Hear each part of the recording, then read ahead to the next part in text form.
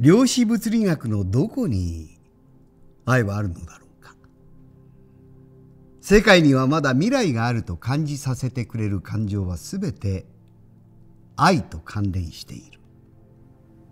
イチジクの白い汁ザクロの種ブドウについたつゆこれらは全部旬を迎えると愛になる。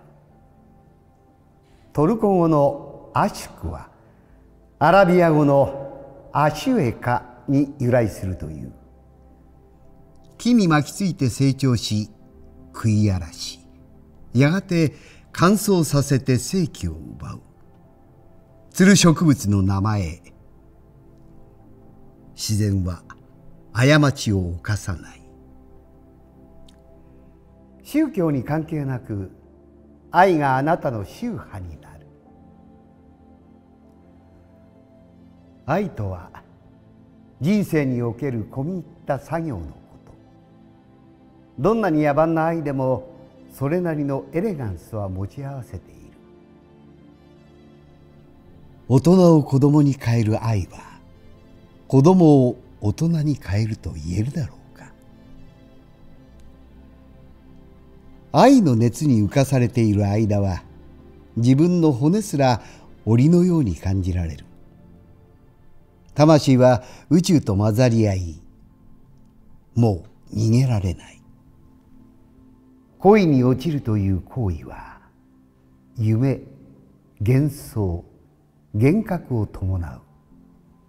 そしてよくわからない窮屈さを期待という曖昧な線で描かれたぼやけた絵で埋めようとする。もしかすると愛は生まれ変わりに過ぎないのかもしれない。私たちの中で待機させていた愛がしきりに舞台に上がりたがっている。適切な場所適切な時間適切な人。アリストテレスが言わなかったのなら私が言おう。これが愛の三一致である。必ずしも満足できるものではない人生のルール。愛はそれぞれ。それを見る人物の伝説。個人的な伝説。すべての伝説がそうであるように自ら再生産しようとする。遠くから見ている人はいくつかの愛の物語をより身近に感じられる。愛そのものは慈悲深い。悪意は恋人たちのもの。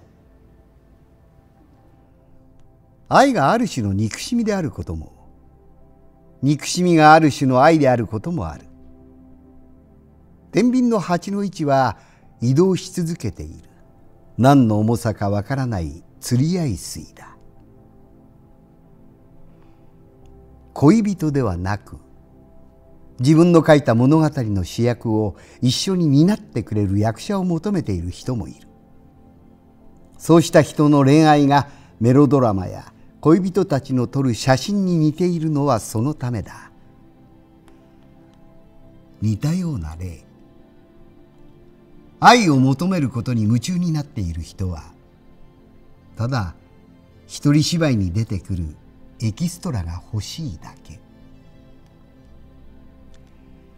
自分の中にある放火欲を愛と勘違いしている人もいる。でも彼らの魂を焦がすのは表面的な言い訳を探す自分を燃やしたいという欲望だ。記憶している顔の輝き響き。封筒に手紙は入れられずあなたには焦げた魂しか残らない。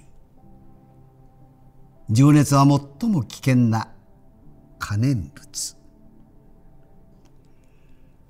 情熱を熟成させないとどうしても短命な恋になってしまうようだ。どんな愛も現在の時間の枠に閉じ込められない。時空を歪めて瞬間移動するタイミングを決めるのは愛なのだ。あるいは別の見方をすれば愛の時空そのものが歪めるタイミングを決める。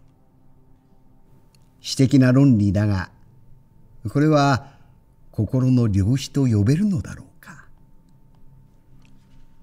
結局愛は孤独のままいつかみんな去ってゆく。